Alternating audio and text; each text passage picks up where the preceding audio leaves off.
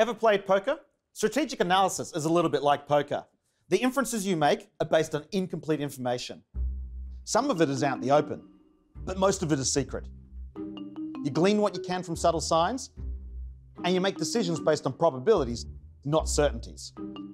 And whenever someone thinks they can get away with it, they'll try to cheat. Of course, the difference in strategic analysis is the stakes. Faulty analysis can lead to war.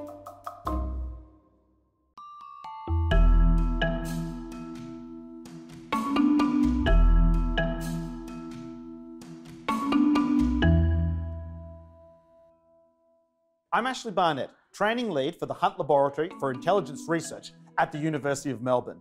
We have developed this innovative short course, Introduction to Strategic Analysis. You'll learn how to ask the right questions, make sense of complex systems, understand adversaries, present logical arguments, and communicate reasoning clearly.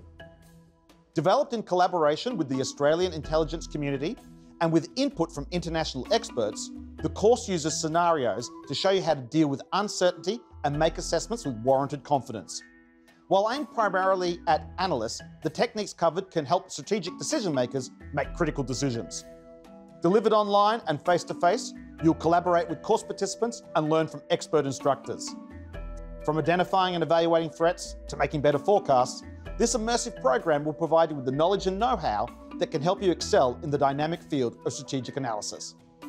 Don't miss this opportunity to deepen your understanding of strategic analysis. Enroll now and start sharpening your analytic skills.